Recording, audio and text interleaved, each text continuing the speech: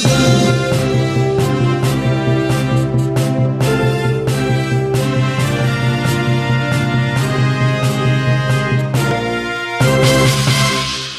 কারণে ছয় বছরের জেল হতে পারে নেইমারের।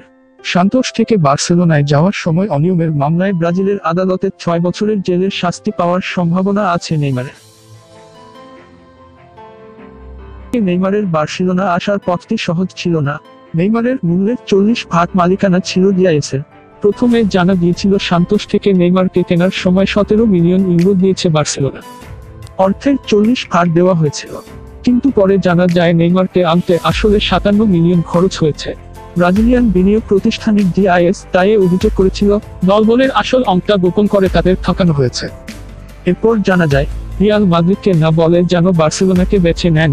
এটা নিশ্চিত করতে নেইমার ও তার বাবাকে প্রচুর অর্থ দিয়েছে কাতালান ক্লাবের সাবেক সভাপতি সান্দ্রো রোসেল যার ফলে নেইমারকে আনতে বার্সেলোনার মোট খরচ হয় তিরাশি মিলিয়ন। এর ফলে দলবলের বাজারে বিশাল এক অঙ্ক হাতছাড়া হয় সান্তোষের এর ফলে ব্রাজিলিয়ান ক্লাব নেইমার ও তার বাবার বিরুদ্ধে প্রতারণার মামলা করেছিল। সেখানেই নেইমারের বিরুদ্ধে দুই বছরের জেলের শাস্তি চাওয়া হয়েছিল। কিন্তু সে শাস্তি বেড়ে এখন ছয় বছরও হয়ে যেতে পারে। মামলায় বলা হয়েছে, দুই হাজার এগারো সালে বার্সেলোনার পক্ষে রোসেল নেইমারদের সঙ্গে একটি চুক্তি করেছিলেন। সেখানে তারা সিদ্ধান্ত নিয়েছিলেন, দুই হাজার চোদ্দ সালে ফ্রি এজেন্ট হয়ে যাবেন নেই। ফলে কোনো ট্রান্সফার ফি না দিয়েই বার্সেলোনায় যেতে পারবেন এই ফরোয়ার্ড।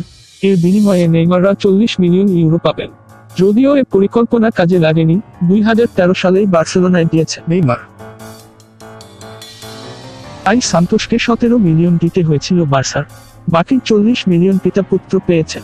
নেইমারের আইনজীবীরা দাবি করেছিলেন, এ অভিযোগে বিচারকাজ স্পেনে হোক কারণ, স্পেনে সাধারণত দুই বছরের শাস্তি হলেও সেটা স্থগিত সাজা হয়। কিন্তু ব্রাজিলের সে সুযোগ নেই। ব্রাজিলের আদালত সে দাবি উড়িয়ে দিয়েছে।